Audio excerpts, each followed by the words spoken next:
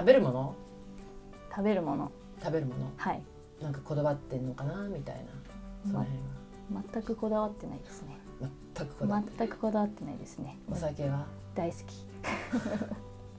タバコは？タバコは吸わないです。もともと。あもともとはい吸ってないです。えーっと一番大好きな食べ物って今何ですか？普通の食べ物に行きましょ普通の食べう、物ですね。人間が食べるものです人ね間が食べるもの。うんな食べれれば何でも美味しいですけど、うん、あの癖の強くないものだったら何でも食べます本当にうん。はい。その中でもあの、うん。いついつも自分が食べているものっていうのはなまあ作るご飯作りますまず。あ、うん、大っ嫌いなんで作らないですね。ご飯作るの嫌い。大っ嫌いですね。あ今何度か挑戦ししたけどあうんもうストレスになるんでストレス溜めるくらいなら作らない。うん。まあご飯炊く、うん。パスタ茹でる。うん。うどん茹でる。うん。十分。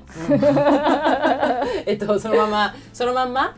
それともなんか？あまあレトルトのなんかこうあかかけたりとかあのめんつゆでうどん食ったりとあかーまあでもそれ普通ですよね、もうでもおかずがないんで。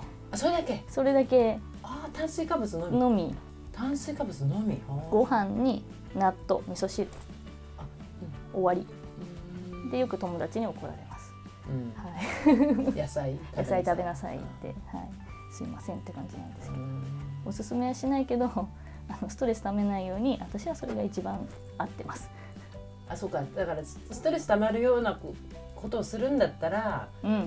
自分が楽に生きてった方がいいみたいな感じ？食べることに関しては、うん。まあそうですねてか全てにおいてそういうふうな感じをああそうだと思います、すね。まあ本当に全てにおいて無意識なんでこう改めて言われるとねなんかあそう自分でそうなんだって思うんですけど、例えばその金髪だって、ああこれはもう黒髪は好きじゃなくてやってた時は嫌だって思ったから嫌だってストレスじゃないですか、うん。やっちゃえと思って、うんはい、誰に何言われようとうん関係ないかなと、あはい。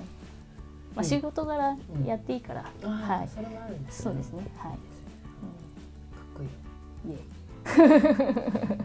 はい。炭水化物食べて、はい。髪の毛が金髪にされて、はい。自分の言いたいことを伝えてあそうですそねれでうん。人を救う。そううんそうですね。最高じゃないですか。最高です。はい。救ってるかどうかはちょっとわかんないんですけどまあ何かねためになればいいかなとは思ってます、うん。はい。ありいいと思います。